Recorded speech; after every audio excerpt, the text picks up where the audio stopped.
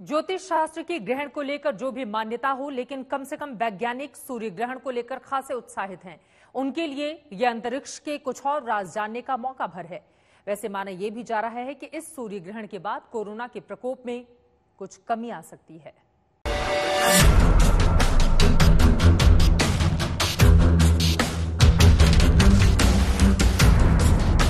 सूर्य ग्रहण आखिर है क्या?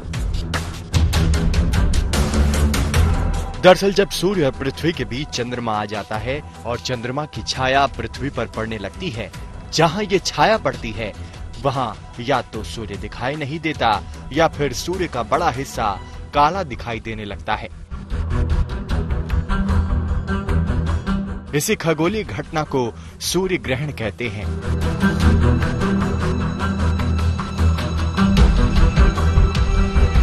21 जून को साल 2020 का पहला सूर्य ग्रहण है। इस सूर्य ग्रहण को लेकर भारतीय वैज्ञानिकों में खासी उत्सुकता है।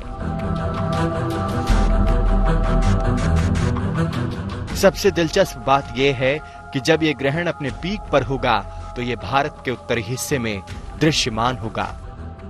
यूँ तो ये पूरा सूर्य ग्रहण छह घंटे लंबा है, लेकिन वो स्थिति जब चंद्रमा सूर्य के मध्य भाग को पूरी तरह से ढक लेगा और सूर्य का एक घेरा चमकती अंगूठी की तरह नज़र आएगा।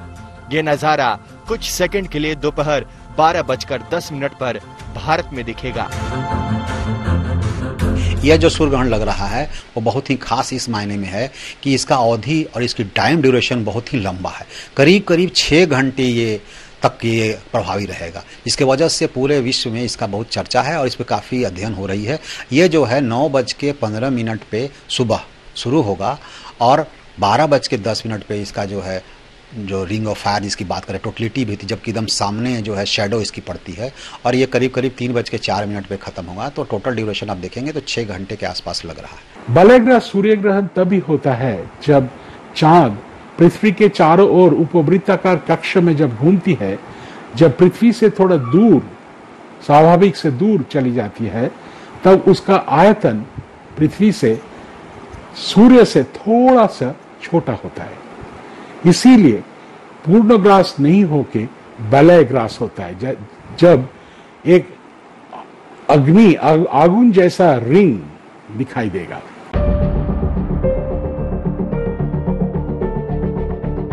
ज़ाहिर है इस खूबसूरत नजारे को देखने के लिए लोग टकटकी लगाए, आसमान की ओर ताकते रहेंगे।